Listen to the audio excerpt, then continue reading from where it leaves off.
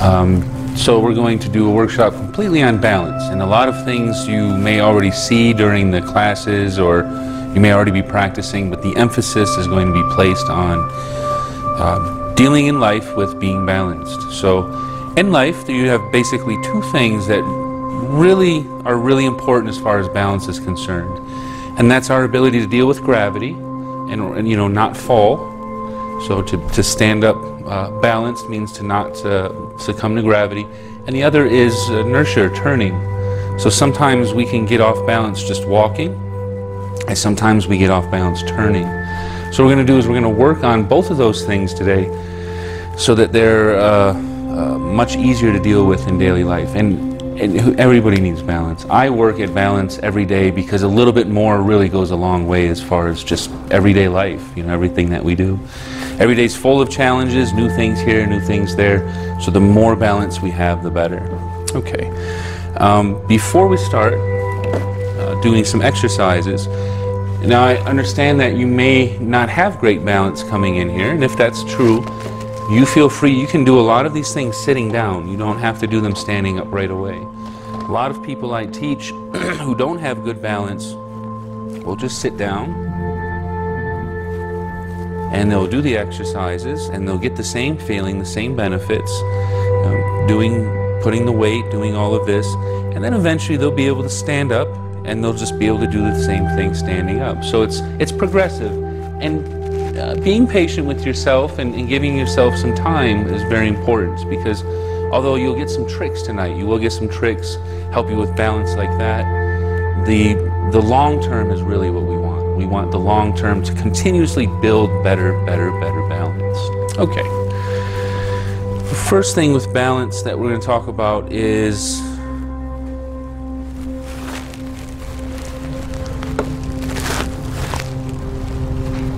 you have an object.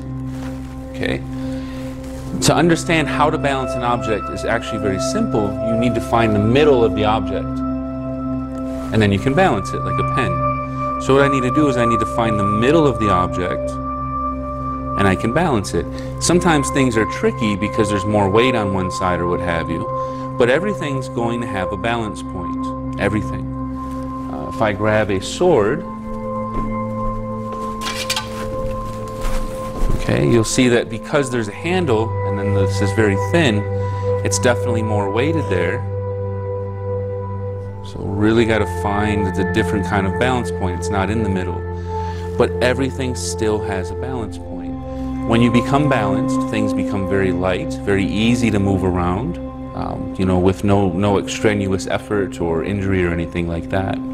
So we're going to look for this middle point uh, in ourselves. Um, but we're going to do quite a few exercises we don't do in daily classes, and if you do them every day, they're going to help. They just, they helped me. I'm my own poster child for most of this. I didn't always have balance. I wasn't always uh, uh, bouncy and, and, healthy and everything like that. I was, you know, typical stiff New York type. Um, so over time, the Tai Chi has taught me to be more centered, more balanced, means the same thing. When we say I'm looking to be centered, I'm meditating to be centered, you're meditating, you're looking to be balanced. Okay? Centered, balanced, same thing. Okay, so first point we're going to look at is a crown point. That's the middle of the head. That's actually the same exact point where you see this chain swinging. When we understand this point, we, we get to the first aspect of balance, and that's keeping the head level. Okay. Keeping the head level keeps the fluids inside of the head and all the equilibrium and the tissues that are pulling up the back or pulling down the chest, keeps them all balanced, and it actually gives your body the ability to feel light and suspended and to have more balance. And typically, uh, with some people, what they'll do is they'll fall. They'll fall once, and then the rest of the time they have to look at the floor. They're looking at the floor when they walk uh, offsetting and changing their head so those fluids and those tissues are actually being uh, uh, imbalanced. So then it's very hard to walk. It's not easy to walk when your head is looking at the floor, but I do understand why somebody would do that because you're afraid to fall again, of course. Okay, but this is the first point, and we're going to call this the crown point. And this is one of the most important points uh, that we work in Tai Chi. In Chinese, it's called Bai Hui. Bai Hui means um, 100 meetings. It's like all your uh, meridians and such uh, converge at that point. Okay, a lot of things. Relieves headaches, relieves a lot of stress in the head, um, excess pressure, things like that. To find this point, it's easy. It's right at the tips of the ears, right at the top. So you just find the tips of your ears and you go right to the top. And we call this the crown point uh, because what you'll hear me say is raise your crown. You want to raise the crown. Okay? Raise the crown. Stand up tall, confident, you raise the crown. You stand up arrogant, the crown goes back, and all of the bones and tissues pull to the pull up. Okay, and we know we don't want that. Um, if the crown point goes forward and we become like uh, collapsed, so we don't have balance either. So remember, balance is the middle of the two, not this excess, not this excess, but right in the middle. That's where the balance is. Okay, it's just being comfortable. When you find comfort in your body, you will find all these things. Uh, so one thing you can do is you can use your finger and you can just massage that point. Um, it's better to use your palm, but it can mess up your hair, so maybe do it before you go to sleep or you know before you get in the shower or something. And basically, you just put your hands on there and just circle it maybe uh, 18 times one way, 18 times the other way. Right, and what's going to start to happen is you're going to develop a feeling so that when I when when even you tell yourself raise your crown raise your spirit get your crown up you know what it feels like rather than just kind of guessing. Is it here? Is it here? You will actually through the massage you'll be able to really recognize and feel what it's like to stand up tall and confident. Okay? That's the first point uh, the second point that we'll talk about is going to be your perineum. Your perineum is where your legs meet, and it is uh, in Chinese called Huiyin, means meeting of the yin. Okay, and it's mostly it's just ignored throughout most cultures that area of your body. We don't want to ignore it anymore because that's also the center. See, right where my legs meet, that perineum, that's the center of my body. And when I can line that up with the center of my head, I create what we call center equilibrium. Okay, and I'm going to just uh, put CE for center equilibrium. And for today's class, we're going to call that the line of gravity, just to make things easy to understand. Line of gravity. So dealing with gravity understanding how gravity works. It's a constant pull. That's what gravity does. I have to find the middle of myself so that gravity can just pass pass right through me rather than pushing on me. It's just like laying a stud in the wall. You want to lay the center to the center from top to bottom. That way any pressure or weight from the roof immediately transfers to the floor any weight or pressure in the head, immediately we want it to transfer to the floor. Just like the studs in the, in the walls, your bones are the same, same structure in your body. They're for the, serve the same purpose. So by kind of labeling these points and finding out where they meet up, you know, we're, we're not standing like this and wondering why we, we have no balance, you know, or standing like this. We can start to feel, you start to feel that crown leveling up. You start to feel that perineum right underneath it. And then you start to walk and you start to actually carry that balance. So getting inside of the, uh, of the body into the center. Um, that's going to continue right down through the legs, through the feet, into the floor. And that's called the line of gravity. Okay. Any questions on this so far? It's pretty basic stuff, and a lot of you know this, know this already. Um, this is a Western medical chart and it shows the same line. Shows the same line going through the same thing. And it's interesting that they use the skeletal system because, as I said, the bones are kind of like the studs in the, in the beams in the wall. Uh, they're what stops the roof from collapsing. It's transfer the force or the weight right into the floor. In other words, the house knows how to contend with gravity, just like we want our bodies to. Okay? So understanding that gravity passes through, not only through this line, but through the bones. Um, so that's a, one of the next things that we are going to uh, locate. Now this line actually passes through the front of your spine. Um, don't worry too much about that right now, we'll get to that later. Okay. Uh, perineum, you can, you can massage. Um, you know, it depends on honestly how, how comfortable you are with yourself. But if you do massage it, the area will start to open. It's good for like everything down there, your prostate, your colon, your bladder. We ignore it, we ignore it, we ignore it. Wonder why everything down here starts to go wacky, it stops working so well. Because all it does is it just squeezes and holds and compresses and there's no more circulation. So massaging that point, uh, if you are comfortable with yourself, would really give you a boost to your health aside from just the just the balance. Okay, it's going to give you more balance because knowing that where that balance beam is and not letting it sag to one side or sag to the other, but just keep looking for that balance. Okay, next point we're going to go is the center of the hip. Okay, so this is a good one to massage as well. You can do this stuff when you're watching TV. You don't have to make it a routine like, a, uh, you know, a hard discipline. Just watching TV. So I'm sitting, I'm looking for the fold where my leg attaches to my body, the inguinal fold or the qua. And I'm just going to go right in the middle of it. Okay, and then I'm just going to massage that right in the middle of my groin or my, my fold there, my qua. If I'm standing, there's the fold right in the center. And again, you can go 18 one way, go 18 the other way. And what this is, this is the center of your center of your uh, inguinal fold, which is where your hip joint is. See, so now we're trying to get the weight or the pressure of gravity from the torso down through the legs, and it has to pass through this little jump.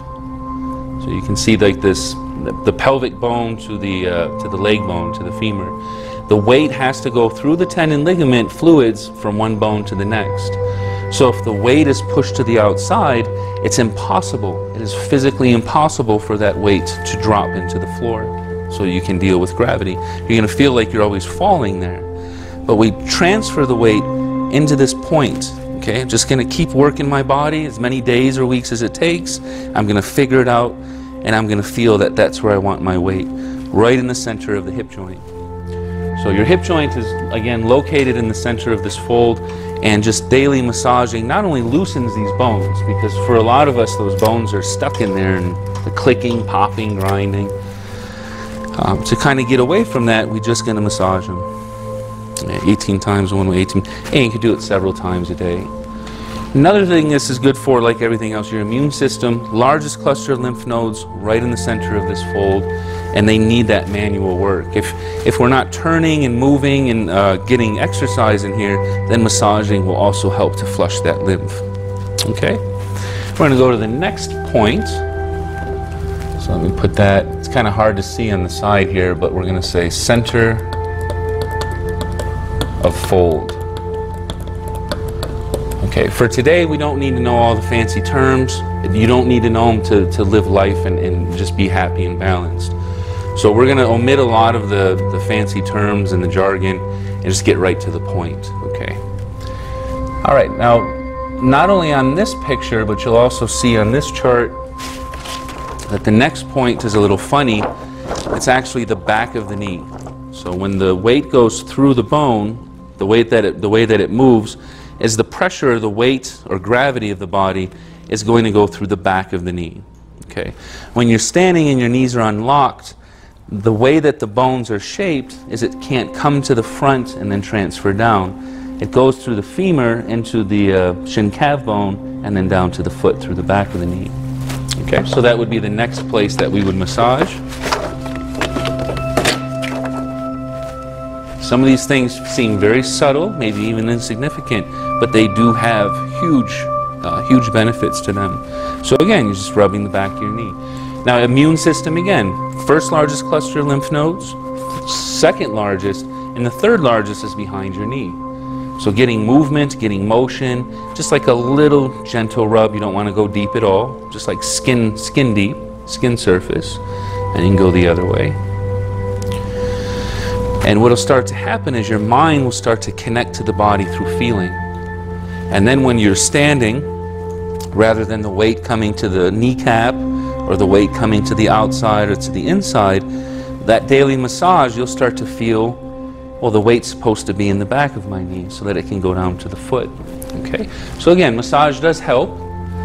Um, we don't really teach the massage in our daily classes, again, due mostly to time constraints, but also uh, you can get a lot of the other the lot of this stuff done just by doing the tai chi forms and stuff but this is definitely extra and I do a lot of this myself. Okay and then the one of the final points that we'll talk about right now is the uh, center of the foot center of the arch. And uh, we'll talk about that in a second there. Center of foot. Center of arch.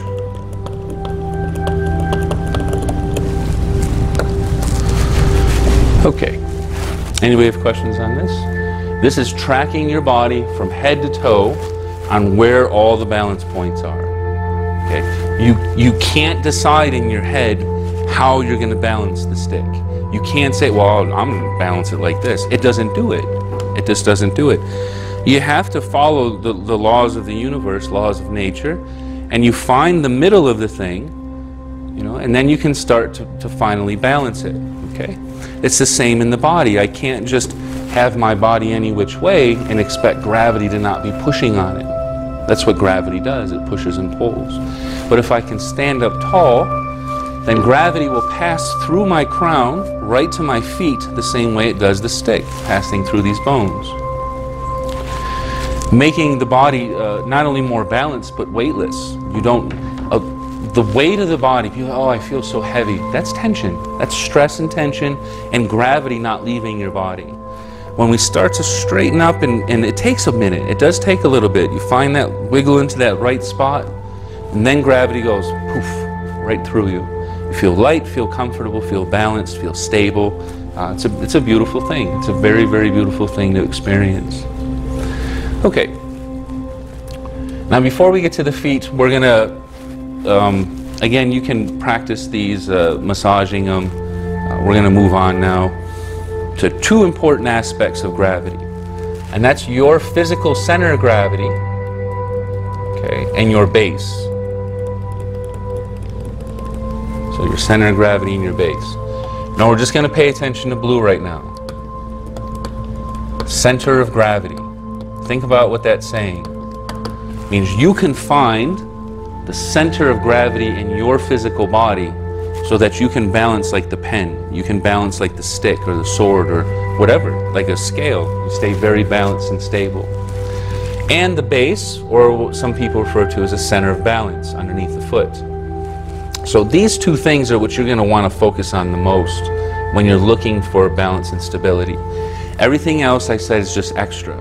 So we're just going to focus on this line and this and this. Okay. Um, let's start with the feet, though. We're going to start with the feet. Talk about the feet, how to put the weight on the feet.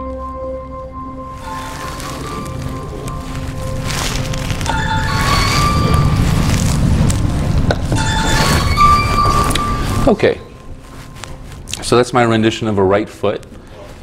Now when we're looking for the balance, we actually want to go like we're cutting the foot right in half, just like that. Okay? So on your foot, you want to get a sense of right down the middle, like you're wearing ice skates. How would I balance on ice skates?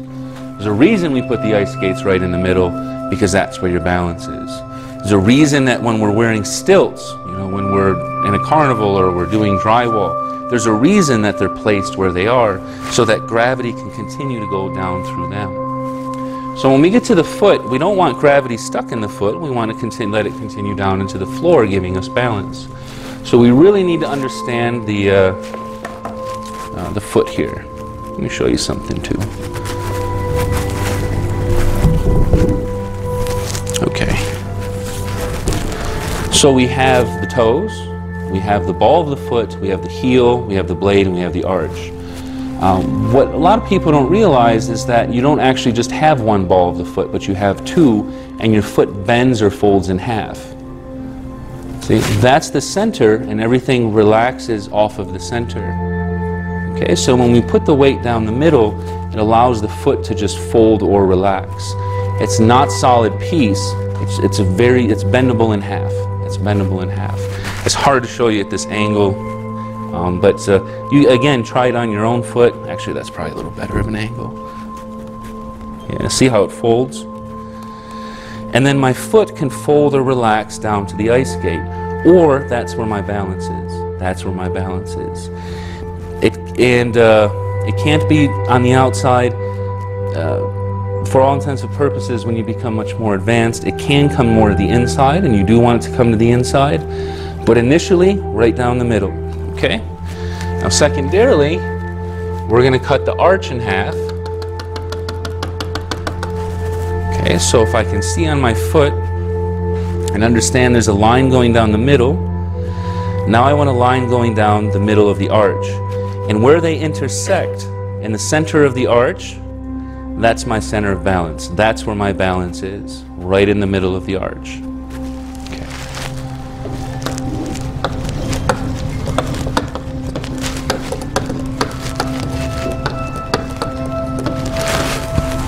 In short, you're taking your center of gravity and you're finding somewhere for it to go. Rather than holding your center of gravity and keeping it up here, like the studs in the wall, we're letting all the weight drop so that we don't, we're not uh, fighting gravity. Okay. You can also rub the bottom of your feet on that point too. Uh, that's another good one it's going to help to release the tissues in every direction. So it's not just targeting that one little point, but uh, where the tissues, where the muscles all meet. All right.